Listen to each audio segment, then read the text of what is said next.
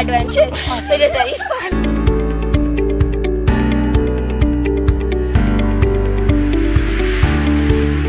This is the first time I'm doing.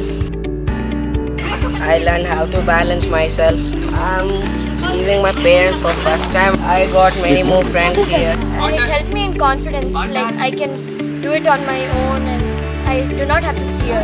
You had to do it all by yourself and uh, you, like it's all up on you. But now you're gonna you're having another person also relying on you, and that's why it helps in you know team cooperation type. So we could uh, rely on each other and help each other. Go! Go! Go!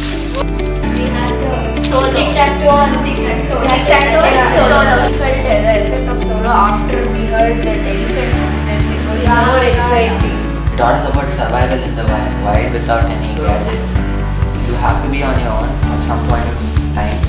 and then kind of exposed our true fears because in the dark actually you actually get to know what you're scared of because usually the dark reminds you of all the things you're scared so that's how it let you overcome it too because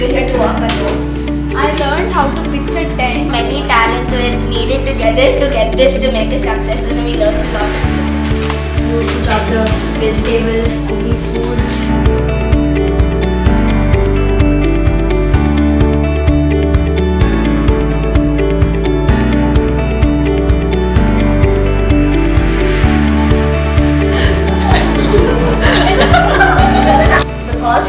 Became music, the wood a stage, the light a scenery, and we the audience.